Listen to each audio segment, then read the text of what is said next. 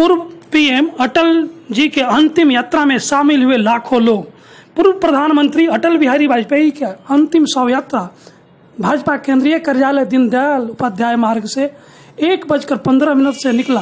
पूर्व पीएम के शव के पीछे प्रधानमंत्री नरेंद्र मोदी, बीजेपी राष्ट्रीय अध्यक्ष अमित शाह, गृह मंत्री राजनाथ सिंह, दिल्ली भाजपा अध्यक्ष मनोज तिवारी सहित कैबिनेट मंत्री राज्य मंत्री सांसद, विभिन्न राजनीतिक दलों के राजनेता, उद्योगपति, फिल्मी सितारे सहित लाखों की संख्या में लोग शामिल हुए।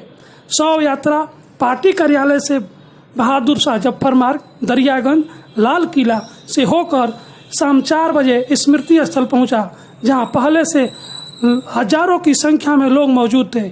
इस दौरान सुरक्षा की कड़ी व्यवस्था थी। मुखाग्नि, अटल बिहारी वाजपेयी की दत्तक पुत्री नमिता भट्टाचार्य ने दी। उपस्थित लाखों की भीड़ ने से यही आवाज़ आ रही थी, अटल बिहारी, अमर रहे अमर रहे अमर रहे। वंदे मातरम, भारत माता की जय। उपस्थित विदाई लाखों लोगों ने दी। सबके मन मस्तिष्क में एक ही बात आ रही थी, अटल जी, अमर रहे अमर रहे अमर रहे। इस समय दिल्ली से हमारे विशेष संवाददाता निखिल ऑनलाइन है। बताएँ निखिल, वहाँ भीड़ या दिखाएँ कैसी भीड़ है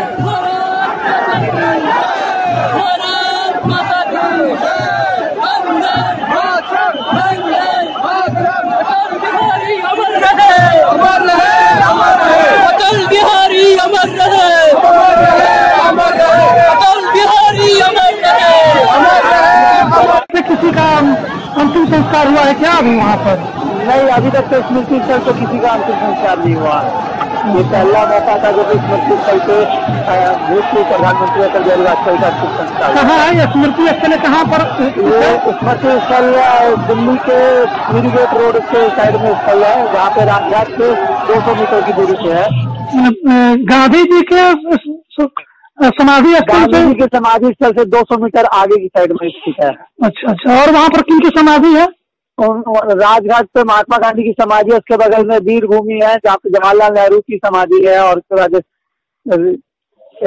इंदिरा गांधी की समाधि है जवाहरलाल नेहरू की समाधि है। सामने बाबू जगजीवन राम की समाधि है। चलिए बहुत बहुत धन्यवाद निखिल बने रहिए हमारा लाइन पर फिर आपसे बात करेंगे।